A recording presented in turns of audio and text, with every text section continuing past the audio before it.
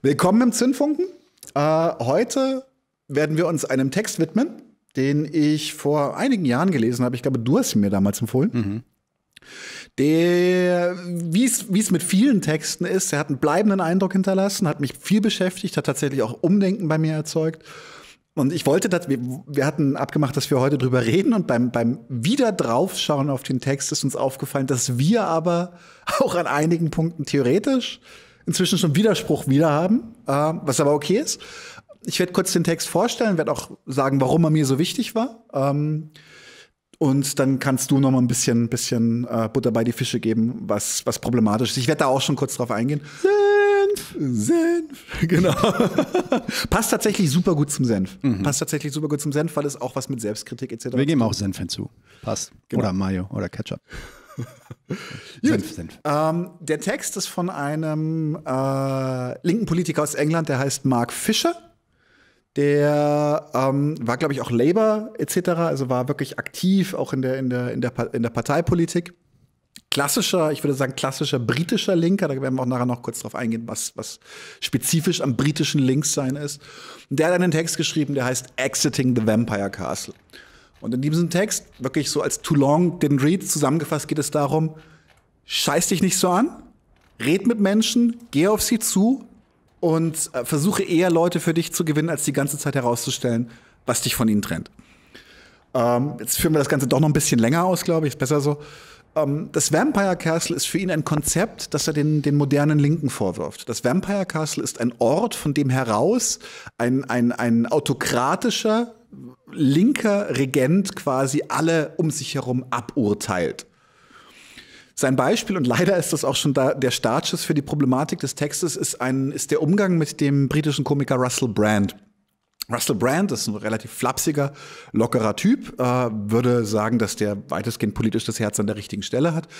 Ähm, der hat halt einen etwas roheren Umgang mit ein paar, mit ein paar Begrifflichkeiten, auch aufgrund seiner Sozialisierung und hat äh, man muss, stimmt schon, hat durchaus despektierliche Begriffe für Frauen verwendet, die einfach soziolekt waren. Ich möchte es jetzt nicht kleinreden, das ist der Kommentar dazu, ist, ist irrelevant, sondern es geht darum, dass dann stattdessen, dass man sich halt mit den Inhalten mit Russell Brand beschäftigt hat, hat man sich ausschließlich damit beschäftigt, dass er ein Sexist ist.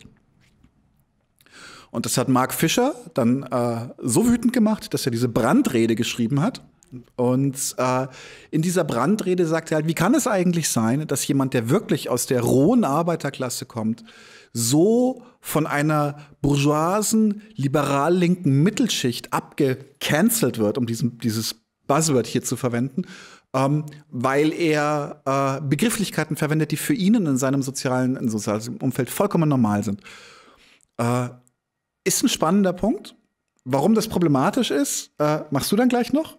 Ähm, Im Grunde geht es hier um das, was wir immer wieder als Identitätspolitik bezeichnen, ähm, dass wir Identitäten objektivieren äh, und sie als trennende Elemente zwischen uns betrachten, anstatt dass sie uns anregen, aufeinander zuzugehen, Gemeinsamkeiten in der Unterdrückung, Gemeinsamkeiten in der Ausgrenzung zu erkennen, Gemeinsamkeiten in der Ausbeutung zu erkennen, ganz wichtiges Thema.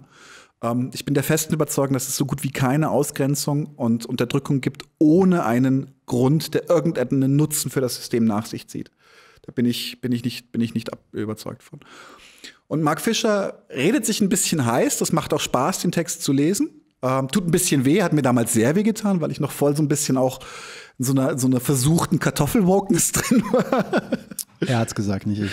Und ähm, er, er geht dann auf, auf fünf Gesetze ein des Vampire Castles. Und das, äh, diese Five Laws of the Vampire Castle, die möchte ich jetzt einfach durchgehen. Ein bisschen was dazu sagen. Wenn ich ein bisschen was vergesse, was das noch bedeuten könnte, kannst du gerne noch ein bisschen zur Hilfe kommen an der Stelle. Ähm, die Five Laws of the Vampire Castle. Das erste ist, individualisiere und beziehe alles auf das Private. Und das ist ein, tatsächlich ein sehr, sehr schöner Punkt, weil es gibt kein schöneres Thema für die momentane New Left, liberale Linke, whatever, mir wurscht, ähm, als strukturell. Dieses Buzzword wird überall angeklemmt. Es gibt strukturellen Sexismus, es gibt strukturellen Rassismus, es gibt strukturell, strukturell, strukturell. Und witzigerweise ist das ja auch der Punkt, wo ich Ihnen völlig zustimme. Ja, wir haben strukturellen Rassismus, wir haben strukturellen Sexismus. Auf der anderen Seite ist der Ansatz, mit dem Sie sich diesem, diesem strukturellen Problem dann entgegenstellen, immer nur individuell geprägt. Es geht also nicht darum, wir müssen Senf, Macht erreichen, um die Struktur zu ändern, sondern nein, wenn nur genug Leute aufhören, das N-Wort zu verwenden, muss man ja jetzt tatsächlich wirklich nicht, aber das, als wenn das schon der Sieg wäre. So als wenn wir, wenn wir unsere Kommunikation verändern, wenn wir, wenn wir, wenn wir ähm, auf quasi uns selber die ganze Zeit checken, habe ich jetzt irgendwas gesagt, was irgendwie äh, im Rahmen einer Identität anstößig sein könnte, sowas, dann verändern wir schon die Welt. Und das ist äh, Bullshit. Weil das System interessiert sich nicht dafür, ob das N-Wort gesagt wurde oder nicht. Freunde von mir interessieren sich dafür, ob ich es verwende oder nicht. Und deswegen ist es auch fair, es nicht zu verwenden. Absolut, überhaupt keine Diskussion hier. Aber zu glauben, dass ich jetzt gerade Politik gemacht habe, das ist Gaga. Sorry, das ist ein bisschen hart. No, du hast mich angesteckt, Mann.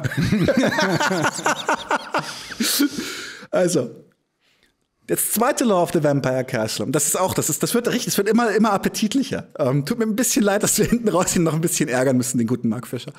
Aber der zweite ist, es lass alle Denkansätze und alle Aktionen als unheimlich schwer erscheinen.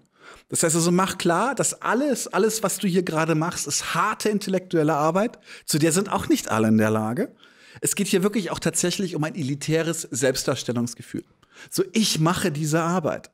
Ich bin, ach so, siehst du, wie woke ich bin? It's fucking hard, ne? Es geht also quasi immer darum, zu suggerieren, dass man diesen schweren Job macht. Man stellt sich der strukturellen Gewalt mit individualisierten Lösungen. Und das ist ein harter Job. Ich sag euch, es ist nicht nur ein harter Job, es ist auch sinnfrei. Es ist auch hier wieder, es ist, wenn ich den Leuten immer sage, also das ist, das ist, das ist harter Tobak, ich weiß nicht, ob das jeder schafft, dann vergelle ich auch jedem in, irgendwie die Möglichkeit, in eine Diskussion einzusteigen. Da möchte ich auch kurz noch mal auf die, auf die Replik von Russell Brand zu den Vorwürfen eingehen, weil der eigentlich ganz schön reagiert hat, weil der gesagt hat, oh, sorry, stimmt, hm, muss ich drüber nachdenken, ja. Es, es war sogar eine Sache, also ich fand es noch ein bisschen geiler sogar, was er, was er geantwortet hat, weil er, er hat über seine Großmutter gesprochen und hat gesagt, ne, äh, ihm wurde vorgeworfen, dass er Sexist sei, weil er irgendwie das Wort Bird benutzt hat für eine Frau. Ne? Und das ist ein abwertender Begriff, der quasi für eine mhm. schöne, hübsche Frau benutzt werden soll anscheinend oder so. Ich kenne mich da nicht so gut aus. Ähm, Bist zu woke. Zu woke, genau, zu woke. ähm, ich ich schlafe schon wieder so woke, genau. Ähm, und dann antwortet er halt, ich glaube nicht, dass ich ein Sexist bin, aber ich bin auch vielleicht nicht der Richtige, das zu sagen, ob ich Sexist bin oder nicht, oder ob das, was ich gesagt habe, sexistisch ist. Zum Beispiel weiß ich, äh, äh, kenne ich meine Großmutter. Meine Großmutter war äh, der liebste Mensch, äh, den ich jemals kannte, aber meine Großmutter war auch Rassistin. Oder hatte rassistische Ideen. Und ich glaube aber nicht, dass sie das wusste. Insofern überlasse ich, überlasse ich das dann eher den, den Frauen äh, zu sagen, ob, ob das jetzt sexistisch war. Und äh, hör, dann höre ich mir das natürlich an und versuche mich dann auch zu checken und versuche das dann auch zu verbessern. Das war seine Antwort darauf, auf einen, auf einen Shitstorm, mhm. der so gigantisch war, äh, dass ich echt sagen muss, ich bin ja kein großer Fan von Brand, aber ähm, Respekt, dass er das mit so viel Gelassenheit genommen hat. Und zwar relativ, relativ bald danach. Also nicht, äh, nicht erst sehr viel später. Ja. Das äh, dritte Gesetz des Vampire Castles, und das ist einer, einer meiner persönlichen Favoriten, ähm, eher, äh, sage ich gleich warum, es ist propagiere so viel Schuld und Schuldgefühl wie möglich. Und zwar ähm, ist es dieses, dieses komische Spiel, dass je betroffener ich agiere, desto mehr habe ich verstanden. Je betroffener ich, ich, ich reagiere auf irgendwelche Formen der Unterdrückung, je mehr ich sage, oh, das ist ja schrecklich, desto mehr engagiere ich mich daran.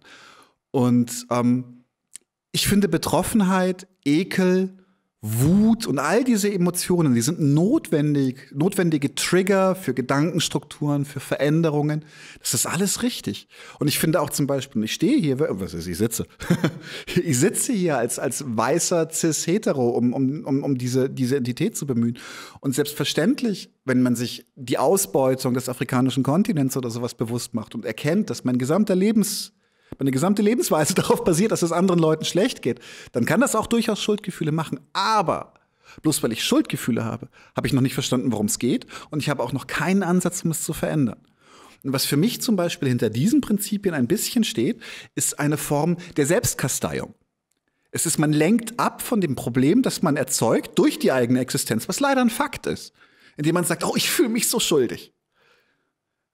Ist gefährlich. Es deflektiert die eigene Verantwortung, weil Schuld ist noch nicht Verantwortung. Ja? Ich würde, ich würde, genau, ich würde, ich würde da sogar widersprechen. Ich würde sagen, es ist einerseits, einerseits vielleicht ja, das ist vielleicht ein psychologischer Mechanismus, mit dem man die eigene Schuld deflektieren kann oder die eigene Verantwortung mhm. deflektieren kann, nämlich zu performen, dass man sich schuldig fühlt. Mhm. Vielleicht. Aber ich glaube, einer der wichtigeren Punkte ist eigentlich, und das geht auch zurück zu dem Punkt 1, mhm. es stellt wieder in den Vordergrund, dass meine persönliche Schuld äh, der, der, der Kern in diesem Problem ist. Und mhm. unser, unser aller persönliche und individuelle Schuld ist der Kern des Problems und nicht eben eine Struktur, ein System, eine Unterdrückungs-, ein Unterdrückungssystem, ein Ausbeutungssystem, ein Produktionssystem, sondern nee, es sind unsere Einstellungen, die zählen. Und ähm, genau, deswegen finde ich, die Punkte äh, gehen dann auch ein bisschen so ineinander über, ähm, beziehungsweise bauen aufeinander auf, weil das im Endeffekt wieder diese neoliberale Denkweise ist von wegen, wir sind, wir sind alle Individuen, everybody for himself.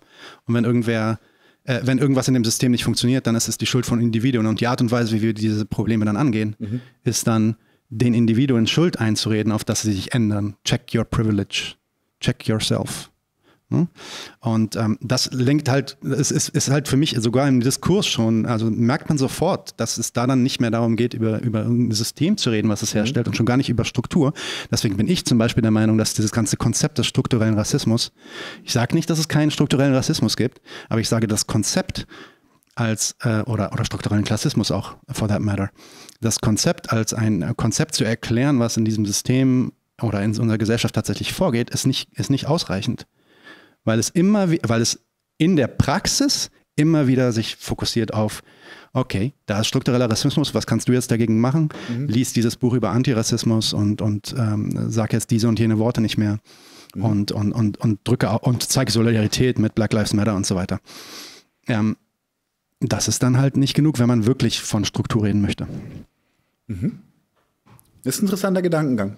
Ähm, mir geht es bei diesem Schuldgefühl tatsächlich sehr, deswegen gehe ich da auch so drauf ab. Mir geht es halt um dieses, das ist auch wieder eine Form des Narzissmus. Auch dieses Schuldhabitus kann eine Form des Narzissmus sein. Und ich sehe halt. Das ist eine Performance. Ja, genau. Das ist eine Performance, genau. Diese Performances sind in meinen Augen tatsächlich von hinten durch die Brust ins Auge wieder Möglichkeiten für eine liberale, weiße, wahrscheinlich obere Mittelschicht, sich wieder ins Zentrum des Diskurses zu zwängen, indem mhm. sie die ganze Zeit performen, wie schuldig sie sich fühlen. Das vierte Gesetz des Vampire Castles ist essentialisiere alles. Das heißt also, es gibt keine, keine Sozialisierung, es gibt keine Prägung etc. Es ist, es alles ist Teil einer Essenz, die fest in uns drin ist. Das heißt also zum Beispiel, eine schwarze Person ist in ihrer Essenz schwarz. Das heißt, wo sie aufgewachsen ist und in welcher Klasse sie aufgewachsen ist, in welchem Umfeld sie aufgewachsen ist, sie ist am Ende des Tages immer einfach nur schwarz. Genauso wie ich am Ende des Tages auch einfach immer weiß bin. Das kann für einen Diskurs auch interessant sein. Da bin ich gar nicht so, bin ich offen für, für, für, für bierige Gespräche. Worum es hier geht, ist, dass über diese, über diese ähm, über diese Essentialisierung von Eigenschaften, die darüber hinausgeht, man hat eine Identität, nach der man diskriminiert wird. Das ist ein Fakt, da möchte ich auch gar nicht gegen anstenken.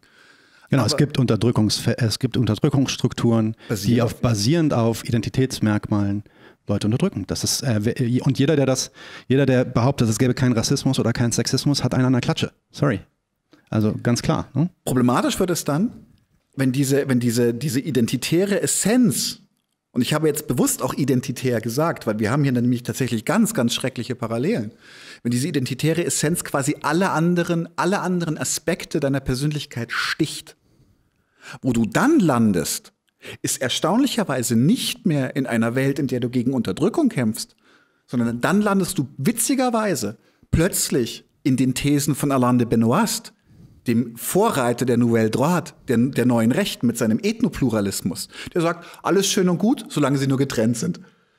Weil es essentiell ist. Das gleiche Argument verwenden TERFs, eine der, der für mich grauenvollsten Abarten des Feminismus. Leute, die sagen, du kannst dich nicht als Frau identifizieren, weil du nicht als, Frauen, als Frau geboren wurdest. All das sind essentialistische Argumente und witzigerweise, obwohl wir Unterdrückungsstrukturen die auf Identitäten basieren, bekämpfen wollen, benutzen wir die gleichen Mechanismen, wie die, die sie erzeugt haben. Das fünfte Gesetz des Vampire Castle ist ein bisschen ein erhobener Mittelfinger. Das ist mein Lieblingsgesetz. ja, ist ein erhobener Mittelfinger. Es ist denk wie ein Liberal, denn du bist einer. Wenn man die Vampire Castle Gesetze befolgt, ist natürlich jetzt nicht aktiv, dass man sich hinstellt sagt, heute möchte ich aber richtig gutes Vampire Castling machen, sondern wenn du die Gesetze des Vampire Castles, wenn, wenn, wenn du, wenn du diese Strukturen bedienst, bist du eigentlich raus aus einem, aus einem grundlegend linken Diskurs. Und das meine ich jetzt hier auch nicht identitär bösartig, so du bist kein Linker, geh weg, sondern es ist, sei vorsichtig damit. Du verlässt den Bereich, in dem wir aufgrund von einer Du hast mich sowas von infiziert mit diesem Gelaber.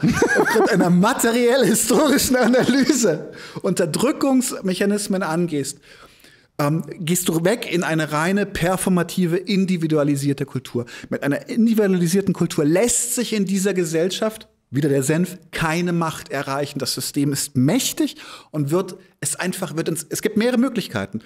Das System saugt uns auf, passt sich uns an, kommodifiziert unseren Widerstand. Das ist etwas, was Black Lives Matter gerade massiv passiert. Wenn eine, eine, eine, die, wie heißt sie, Beverly D'Angelo? Die heißt nicht Beverly. Robin. Robin D'Angelo. Äh, Robin D'Angelo mit einem, mit einem äh, äh, Produkt an den Start gehen kann, indem sie, indem sie, indem sie Leuten Antirassismus-Trainings wirklich, also auch vom Reißbrett, fieseste Küchenpsychologie anbietet. Und das wird von Firmen wiederum genutzt, aufgesogen. Kapitalismus ist so unfassbar wandelbar wird aufgesogen und sagt günstig, dann benutzen wir Antirassismus zur Arbeiterunterdrückung. Das heißt also, in diesen Kursen, die dann Google finanziert oder wer auch immer diese Kurse dann anbietet, nach diesen Regeln von Beverly D'Angelo, kann auch dann. Robin. Was? Robin. Robin. Wo hängt das Beverly eigentlich? Ist egal. D'Angelo. Die übrigens weiß es. Ja? ja, spielt ja keine Rolle. Ah, doch, das spielt eine Rolle. Es spielt tatsächlich nach ihrer eigenen Argumentation spielt es eine ja. Rolle. Das ist das Absurde. Mhm. Ähm, die äh, tatsächlich wird genutzt, um dann zum Beispiel auch Protokoll zu führen. So, wer wehrt sich dagegen? Wer wehrt sich gegen Antirassismus-Trainings? Wie reagieren die Leute in Antirassismus-Trainings? Es, gibt, es gab eine, es gab eine, ähm, eine Berichterstattung von, von jemandem, der in diesen Trainings war. Äh, da, ich weiß nicht mehr genau, wo ich, wenn ich den Link finde, dann poste ich ihn.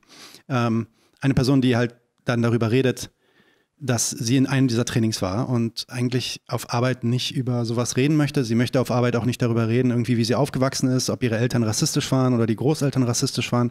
Sie möchte eigentlich nur gerne ihren Job machen und dann nach Hause gehen. Sie findet, das ist auch nicht der richtige Ort, um sowas zu tun. Aber sie wurde natürlich gezwungen.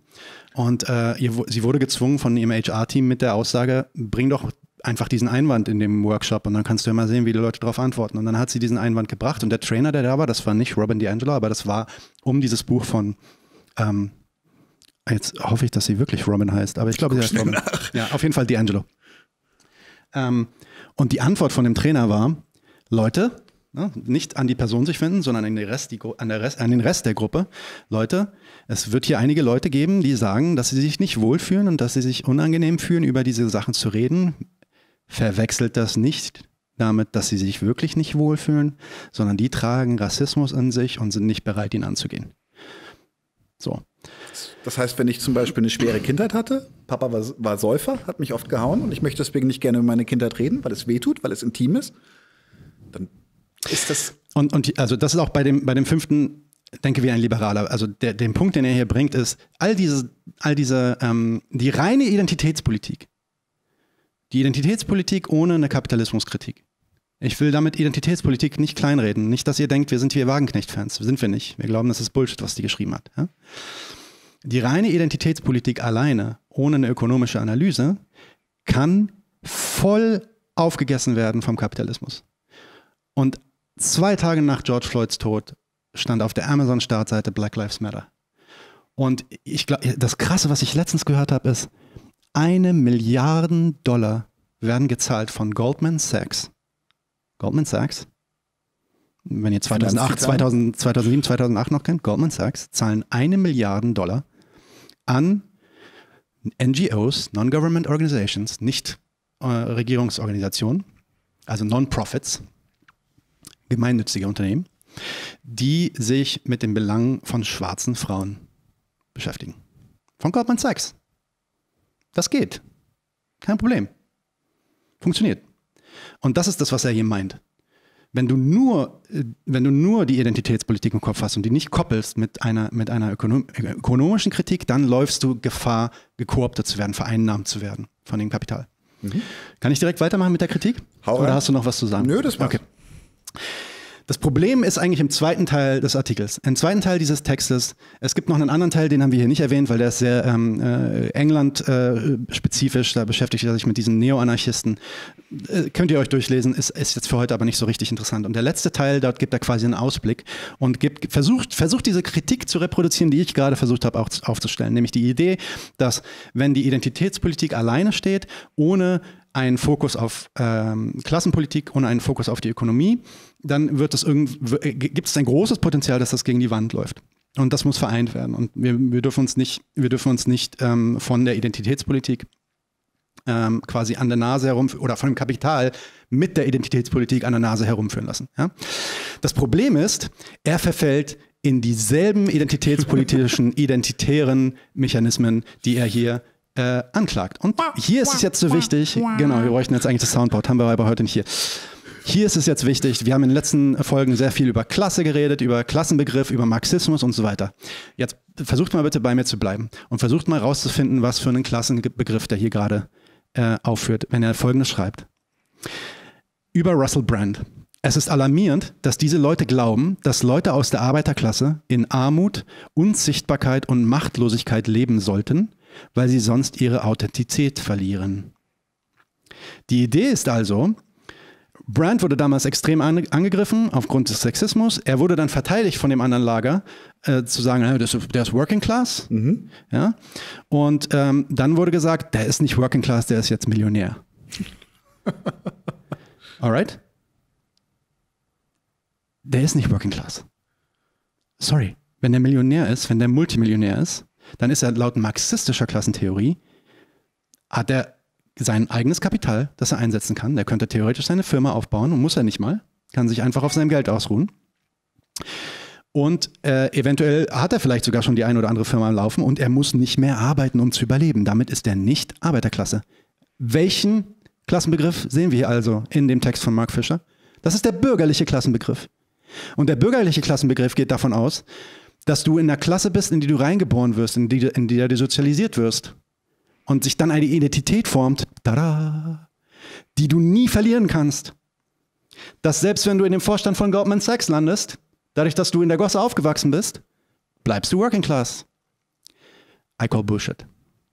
Das ist die bürgerliche Klassendefinition, auf die er sich einlässt. Und wohlgemerkt, Mark Fischer war halt einfach kein Marxist. Okay, bear with me. Versucht mal, versucht mal dabei zu bleiben. Wo wird das jetzt richtig problematisch? Weil er sagt am Ende Folgendes.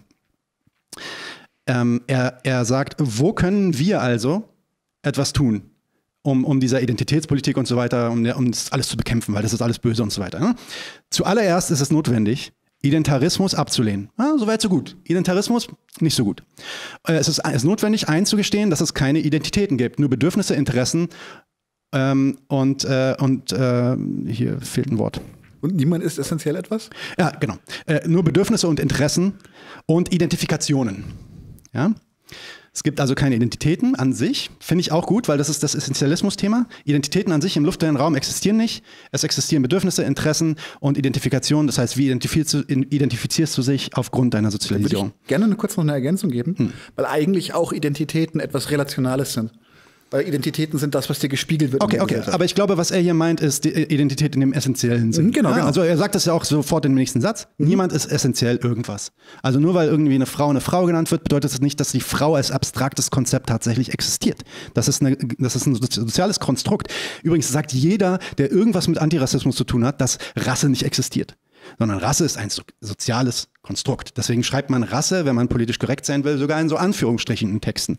Weil man, weil man klar machen will, das gibt es nicht. Und das ist auch wissenschaftlich nachgewiesen, das gibt es nicht. Alright? Das ist auch eines der Hauptargumente äh, in diesen Gender-Sachen, dass Geschlecht ein soziales Konstrukt ist. Und jetzt das, also alles, was er sagt, ist perfekt, bis auf den Punkt, dass auch die Arbeiterklasse als Identität es so nicht gibt. Sorry, aber du redest hier, als ob es sie gibt, weil du gehst von einer Identität aus, die Russell Brand nicht verlieren kann, wenn er schon Multimillionär ist. Das, so funktioniert das nicht. Ja?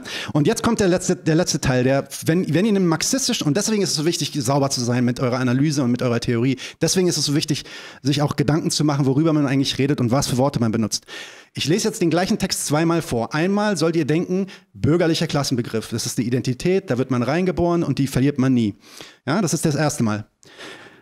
Marxistische Klassenpolitik, äh, sorry, äh, aber die Ablehnung von Identitarismus kann nur durch die Wiederbehauptung von Klasse entstehen.